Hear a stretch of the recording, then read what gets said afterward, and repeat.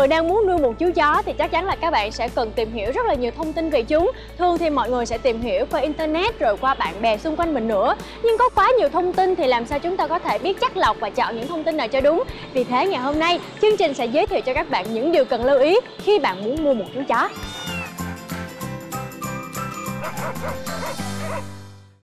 Các bạn thân mến, hiện tại thì Nhi sẽ có một cuộc trò chuyện cùng với anh Bách là chủ cửa hàng Happy Dog để chúng ta tìm hiểu những cái điều mà cần phải lưu ý trước khi muốn chọn mua một chú chó. Dạ chào anh Bách. Ừ, À, anh ơi khi mà một người cần mua chó chắc chắn là người ta sẽ tìm hiểu rất là nhiều cái thông tin để chọn mua một chú chó cho phù hợp nhưng mà bây giờ em thấy là trên mạng có rất là nhiều thông tin vậy thì à, người mua cần phải ưu tiên chọn những thông tin ở đâu ạ? À? Hiện tại thì có rất là nhiều thông tin trên mạng thì phần lớn người, người mua sẽ thông qua một số cái diễn đàn yêu thú cưng dạ. hoặc là Facebook hoặc là một số cái trang web về uh, yêu thú cưng hoặc là chuyên bán về thú cưng thì uh, một trong những số đó thì mình có thể kể đến là cái trang bán chó mèo.com thì nó cũng là một cái trang web mới và khá phổ nhận được khá là nhiều cái thu hút của uh, người dùng cũng như là các người nhân giống nhưng mà đối với lại người mua thì uh, sau khi mà mình đã tìm hiểu mình đã nhìn được lựa chọn được cái con giống mình ưng ý thì tiếp theo mình vẫn phải tìm hiểu về cái người bán họ là cái người uh, chuyên những nhân giống những giống đó yeah. Dạ. hay là họ chuyên về nhập những con đó về và trao tay lại cho mình thôi ừ. thì cái lợi ích giữa việc mà mình mua trực tiếp từ một cái người nhân giống một cái người có thật sự có cái am hiểu về cái giống đó thì trong cái quá trình mình nuôi cái con chó đó thì họ sẽ hỗ trợ cho mình tất cả các vấn đề về sức khỏe tâm lý dạ. cũng như là tất cả những cái gì mà liên quan tới cái giống chó đó anh ơi đối với những người mà mới lần đầu nuôi chó không có chuyên nghiệp rồi à, dân tay ngang chẳng hạn như em đi thì đến cửa hàng mình nên yêu cầu người bán cho mình những cái thông tin hay là những cái giấy tờ gì liên quan đến những chú chó cần mua à? Khi mình đi ra cửa hàng mình mua thì việc đầu tiên à, mình phải quan tâm đến là sức khỏe của con chó. Thì về về vấn đề về sức khỏe thì người nuôi phải thật sự à, quan tâm đến việc chủng ngừa. Ừ. tại vì những cái bệnh mà nằm trong chủng ngừa thì chỉ có thuốc ngừa mà thuốc trị thì mình rất là hiếm. Và cái việc khả năng trị của mình rất là thấp dạ. nên chủng ngừa luôn đặt lên hàng đầu. Rồi à, người mua của mình mình phải hiểu là con chó vào thời điểm bao lâu thì có thể có mũi ngừa đầu tiên và đến bao nhiêu tháng thì nó phải kết thúc cái mũi ngừa thứ hai hoặc thứ ba. Sau thời điểm đó nếu mình mang con chó về thì cái sức khỏe của nó sẽ rất là tốt. Dạ. và ngoài ra thì cái nữa mình nên lưu ý là đối với một số trường hợp thì mình thậm chí là con chó trên sổ sức khỏe có chủng ngừa nhưng mà nên lưu ý là nó sẽ được tiêm chủng bởi một cái cơ quan thú y hoặc là một cái bác sĩ mà có tay nghề thì họ sẽ đảm bảo được cái việc bảo quản vaccine cũng như là tiêm vaccine đúng cách để con chó có được kháng thể sau cái lần vaccine đó dạ. chứ nếu mà nó được tiêm vaccine nhưng mà nó nó không hấp thụ được kháng thể thì cái khả năng mắc bệnh về sau của nó cũng rất rất là cao dạ.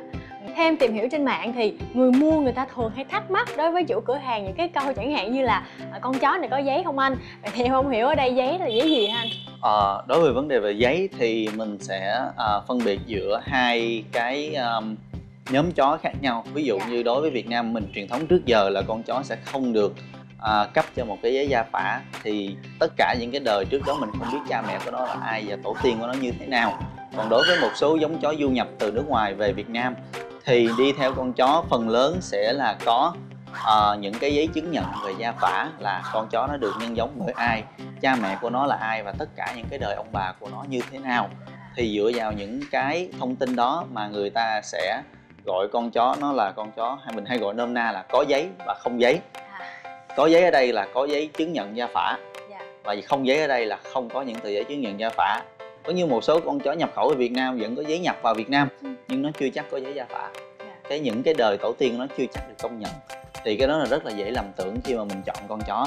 Đối với những người à, mình nuôi phổ thông mình nuôi muốn nuôi thú cưng ở nhà thì mình có thể tập trung quan tâm vào sức khỏe của con chó. Những cái giấy tờ mình cần là uh, giấy khám sức khỏe. Rồi nếu mà nó là chó nhập thì nó nhập vào ngày mấy nhập như thế nào rồi uh, sức khỏe con chó mình đặt lên hàng đầu. Đối với một số những người chuyên nghiệp họ có nhu cầu về nhân giống thì chắc chắn ngoài những cái giấy tờ trên thì cái việc cái giấy tờ gia phả của con chó thì người ta cũng sẽ rất là quan tâm. À vậy thì cái giấy nó cũng tương tự như là à, giấy khai sinh của mình rồi đúng không anh? Đúng rồi. À, thì đối với một số con chó mà du nhập như vậy á, để người ta xác định cái danh tính cũng như là cái cái cá thể đó dạ. thì trên mỗi chú chó mà nó có giấy khai sanh cũng như là giấy chứng nhận gia phả thì đều có gắn một cái microchip để mình nhận dạng con chó này nó sẽ khác với con chó khác. Và ví dụ như trong một cái bầy, những cái giống chó, những con chó con gần giống nhau hết, nhưng mà cái microchip sẽ cái cái số khác nhau để xác định là con này nó sẽ khác với những con khác cái chip đó nó gắn ở đâu ạ cái chip đó thường sẽ được bắn ở dưới da con chó gần cái vùng cổ. Thì khi sử dụng uh, như vậy thì mình sẽ có một cái dụng cụ để mình quét con chip. Khi mình quét ngang người con chó thì cái mã số trên cái chip nó sẽ được hiện trên cái máy quét. Và giúp đó người ta sẽ xác định được là ừ cái con chó này nó có trùng khớp với cái giấy đăng ký khai sinh hay không.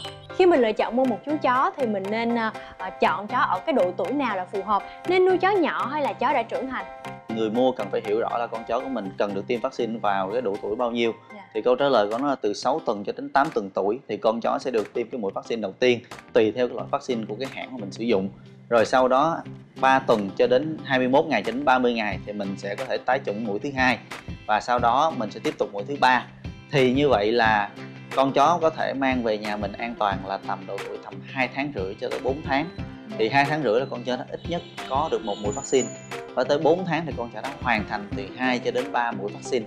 Thì như vậy cái sức khỏe con chó sẽ rất là được đảm bảo. À, anh ơi hiện nay thì có rất là nhiều người có nhu cầu nuôi chó nhưng mà do công việc quá bận nên người ta không có thời gian để đến tận cửa hàng để xem và mua chó.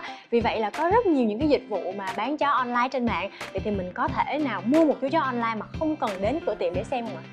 Riêng về cái liệt uh, mua bán online thì anh nghĩ là mình có thể ngồi ở nhà mình nhìn những tấm hình và mình chọn một cái bé nào đó nó bắt mắt nó hợp hợp hợp nhãn với mình mình cảm thấy mình yêu thích nó rồi nhưng đến khi mình thật sự mình quyết định mua thì mình phải đến cái nơi mà họ à, cái nơi mà họ bán con chó đó mình phải vào giống như mình cũng phải hỏi thăm về cái tình trạng sức khỏe của con chó như thế nào thông tin của con chó ra sao dạ. và ngoài ra thì mình phải quan sát hiện tại là cái con cái con chó nó như vậy nó có đạt được cái yêu cầu sức khỏe của mình hay không. Và từ đó thì mình quyết định được à vậy tức là trong nghe không bằng một thấy mình phải đến tận cửa hàng để mình xem chú chó đã nhưng mà với một người mà chưa từng nuôi chó cũng không có kinh nghiệm nuôi chó thì mình cần phải quan sát và mình theo dõi những cái biểu hiện nào để biết là chú chó đó thật sự khỏe mạnh à, nếu mình mua uh, con chó từ một cái cửa hàng hoặc là một cái hộ gia đình mà nuôi lại ở nhà thì việc đầu tiên mình phải quan tâm đến là cái vấn đề về vệ sinh yeah. Dạ. đầu tiên là vệ sinh con chó con được chăm sóc trong một cái môi trường tốt hay không tại vì nếu một trong được chăm sóc trong môi trường tốt thì con chó cái việc phát triển của nó sẽ rất là tốt. Rồi ngoài ra thì mình phải quan tâm đến cái um, những cái biểu hiện sơ bên ngoài của con chó. Ví dụ như cái sự năng động. Đối với chó con thì phần lớn tất cả các chó con đều năng động. Nó phải vui vẻ nó phải chạy nhảy. Rồi à, mình có thể xem thêm một số cái vấn đề ví dụ như à, về mũi về lỗ tai về lông trên người. Ví dụ như mũi thì nó ẩm không ướt không có chảy nhớt hoặc là không có chảy nước mũi. Về lỗ tai chăm sóc sạch sẽ thì con chó mình sẽ được vệ sinh lỗ tai rất là kỹ. Nó không bị bám bẩn bám bụi trong đó rất là nhiều. Và sẽ xảy ra các bệnh lỗ tai về sau. Rồi về lông da thì mặc dù chó con là rất là hạn chế về vấn đề về tắm nhưng mình vẫn phải đảm bảo cái mức vệ sinh tối thiểu cho nó để nó phát triển tốt. Rồi à, ngoài ra thì mình sẽ quan tâm đến vấn đề về chủng ngừa. Giống như anh đã nói lúc trước thì chủng ngừa cũng sẽ rất là quan trọng. Dạ, cảm ơn anh. À, cảm ơn những chia sẻ của anh Bác rất là nhiều. À, quý vị thân mến, Ngọc Nhi hy vọng là sau cái buổi trò chuyện ngày hôm nay thì à, các bạn cũng đã hiểu hơn phần nào về những cái lưu ý cơ bản mà chúng ta cần phải nắm rõ khi mà chọn được một chú chó. Một lần nữa xin được cảm ơn anh. Xong rồi em bị vấn đề về da, cái khu đó người ta cho chó ở hơi bị dơ rồi nó bị rất là nhiều vấn đề xong rồi nó bị da rồi nó nó sốt rồi nó đi vệ sinh không có tốt lắm cái này cũng thấy thương em nhưng mà nuôi em một thời gian biết con Pele nó là một đứa này